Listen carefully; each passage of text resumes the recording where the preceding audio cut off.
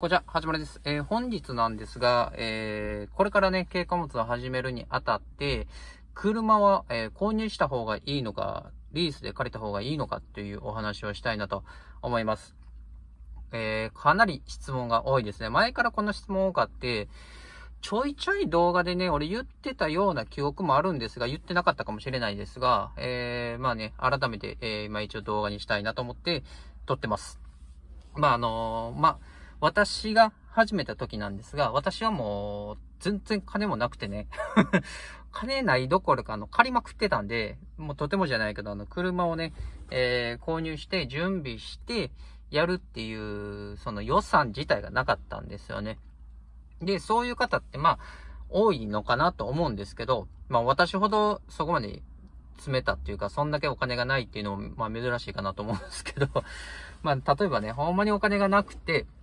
とてもじゃないけども、全然もう手持ち1000円もないみたいな 方の場合でしたら、リースもありなのかなと思います。まあ、基本的にはやっぱり買った方がね、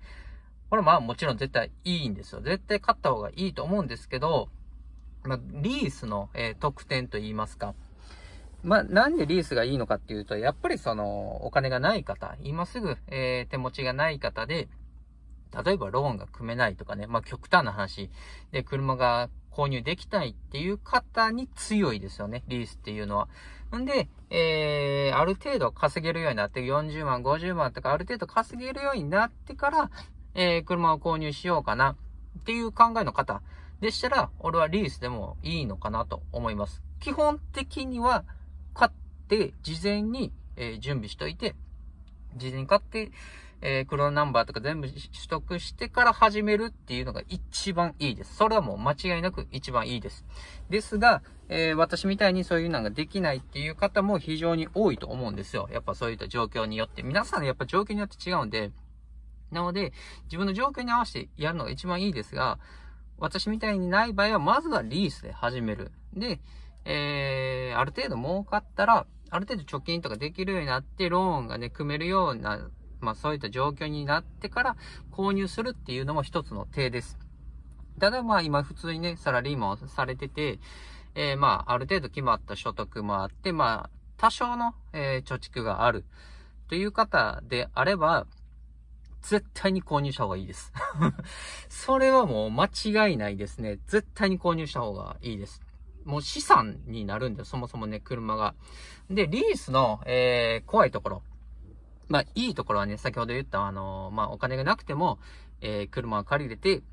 まあ、あの、お金がなくても軽貨物を始めることができるんですよ。一番のネックってやっぱその車なんで、車がね、あの軽貨物を始めるにあたって一番金を取られるポイントなんですよ。なので、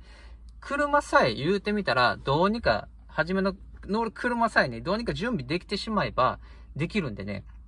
まあ、稼げるか稼げないかは別の話で、始めることはできるんですよ。車さえ持ってれば。なので、そこが一番やっぱネックなんですよね。おそらく軽貨物始めようってされる方で、一番初めに悩みとしてくる、出てくるのが車なんですよ。この次に稼げるか稼げないかなんで、なので、その一発目の一歩目を踏み出すっていう点においては、えー、そういったリースっていうのは非常に頼りになります。そういったリース会社っていうのは。まあそういったね、今から行かれようとしてる、そういった協力会社さんで、えー、リースを借りるっていうのが、まあいいのかなと思うんですけど、初めのお金がないうちは。ですが、そのリースの、えー、まあリース会社によってね、やっぱ全然その違って、まあ協力会社によっても違うんですけど、全然違うんですよね、借りるところによって。例えば、えー、いいところであれば、まあ例えば月4万円で、もう、整備とか、そういった車のタイヤとかね、あの、車検とか、任意保険とか、そういうのを全部込みで4万だよっていうところもあれば、いやもう、とりあえず、あの、リース代だけで4万。あの、車にかかる、えー、スタッドレスとか、えー、車検とか、保険とか、そういうのは別で自分で払ってねっていう会社もあるんですよね。で、会社によって全然それはもう違うんで、そういった対応っていうのは。なので、それがまあ、リース会社の怖いところですよね。その借りるにあたって。なので、やっぱそういうなんでも、一番いい条件っていうのを、えー、リースでした借りるのであれば、そういった一番いい条件を探してから、えー、始めた方がいいですね。その辺はね、結構怖いところなんで、入ってね、やり出してから後から気づいたみたいなね、えー、そういう話もあるんですよね。4万って聞いてて、その4万に全て含まれると思ってる、え、方とか結構いるんで、その辺はやっぱりちゃんと始める前に、あの、確認した方がいいですね。実際始めてからね、気づいたらもう遅いんでね、それは。なので、その辺は注意してください。で、よくあるのがね、やっぱこの現状回復してから返してくださいね、みたいなの結構あるんですよね。まあ、タイヤとか、そ、まあ、えー、オイルとか、まあ、そういうのにね、全部貸した状態にして戻してくれみたいなね。なので、リースを返すときとか、まあ、会社を辞めるときとかですね。っていうのは、めっちゃ金かかったりする場合があるんですよね。現状回復しんとあかんから10万とか15万とかかかる場合ももしかしたらあるかもしれないんで、その辺もやっぱりその、まあ、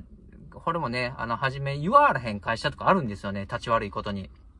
辞める時になって、いえ、じゃあ返すんやったら現状回復して返してね、みたいな、そういうのは言ってくる会社、平気であるんでね。いや、そんなん聞いてませんよ、みたいな、ね、そういうのは平気であります。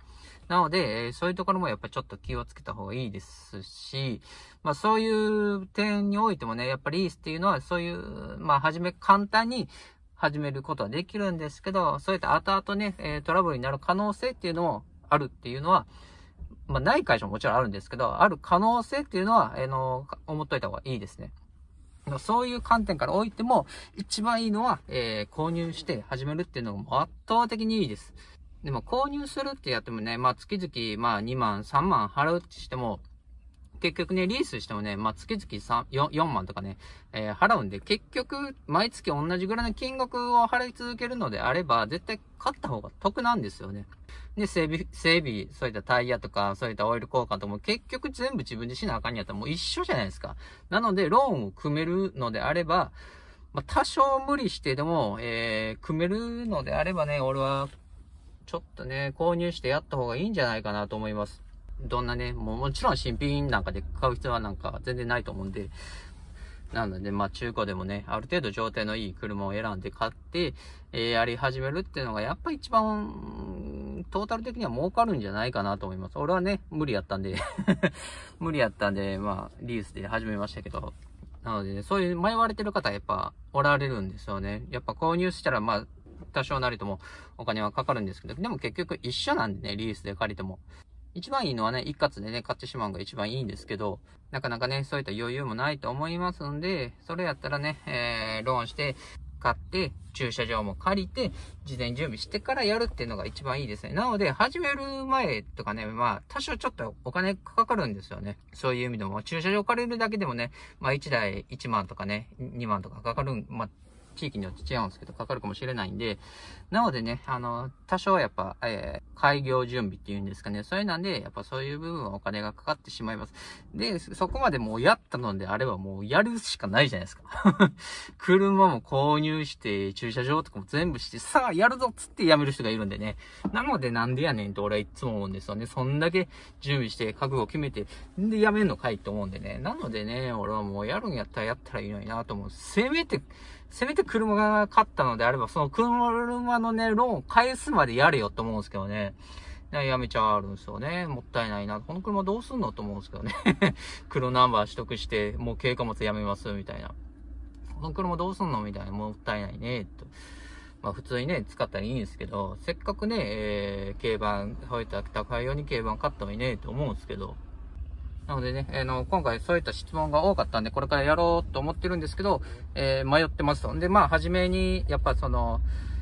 ある程度ね、あの、続くか、確かにね、わかんないじゃないですか。まあ、俺的にはもう、やるからには、もちろん続けてほしいんですけど、そういった、まあ、どうしてもやっぱ無理やったりとかね、この体に思った以上負担がかかってしまって、そういった怪我してしまったとかね、まあ、どうしても無理な場合ってやっぱあるんですよ。なのでね、やっぱできるかできひんかっていう判断してから、えー、購入するか、どうするかっていうのをしたら、それもね、一つの判断だと思うんで、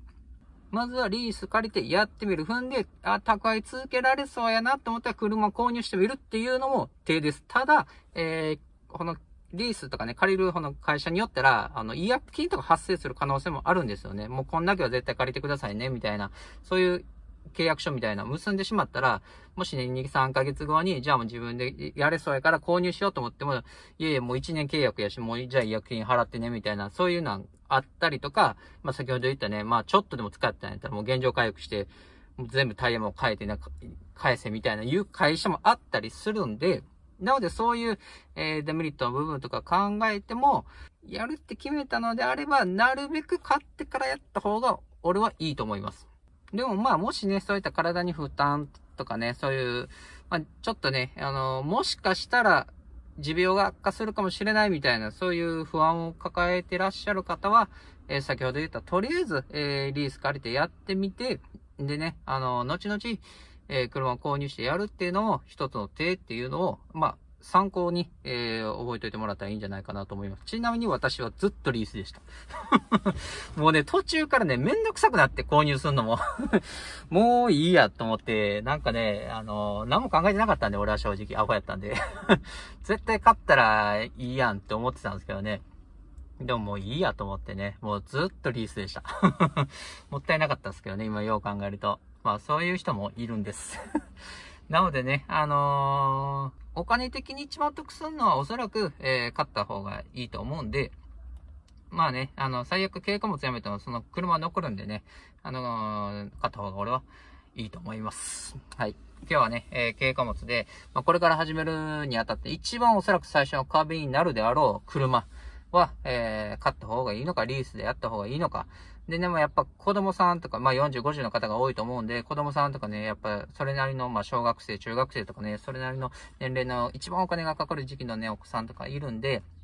で、やっぱね、奥さんとかにもね、交渉すると思うんですよ。経過物始めようと思う。で、車を購入しようと思うとか言ったらね、えー、あんた仕事辞めてさらに車購入すんのみたいな。どんだけお金使うんやみたいなね。やっぱなると思うんですよね。リアルに リアルにそうなると思うんで、やっぱそういう買いたくても買えない。ローンは組めるけど、えー、買えないとかね、家庭の事情とか色々あると思うんですよ。で、奥さんを説得して、いや、絶対やり続けるし、絶対稼ぐから、車はもう、購入させてくれって説得できたらいいですけど、ほんなあんた通貨もわからへんのに、みたいなね、やっぱそうやって奥さんはね、あの、まあ、リアル、現実主義なんでね、女性の方っていうのは。稼げるかもわからへんや、みたいなね、なってくると思うんで、まあ、それやったら、えー、リースで借りて、えー、続けて40、50稼げるようになって、ほら、こんな稼いだったぞ、みたいな。もう新車で競馬俺を買うわ、みたいなね。そういう強気な発言できるまで、えー、リースでやるっていうのもある、ありな、やと思うんで、なのでね、あの、結構 DM に聞かれるんですけど、聞かれたら俺はね、毎回、あの、できるなら購入した方がいいって言うんですけど、まあ、それ購入した方がいいんや。じゃあ購入しようと思って実際購入できたらいいと思うんですけど、購入できない家庭の事情とかいろいろあると思うんでね、やっぱ結局、えー、その辺最終的には自分の判断で、えー、進めていくのがいいんじゃないかなと思います。はい。今日はこんな感じで、まあ、どちらがいいかっていう、私なりの見解を喋らせていただいたんですけど、まあ、一つの参考として、えー、聞いていただけたらなと思いますので、ぜひ頑張ってやり続けてほしいなと思います。はい。こんな感じで、私のチャンネルでは経過物とかね、えー、お金の話とか、他にも全然関係のないね、トレンドの話とかをしていきたいなと思ってますんで、ぜひチャンネル登録していただけたらなと思います。それではまた次の動画でお会いしましょう。さよなら。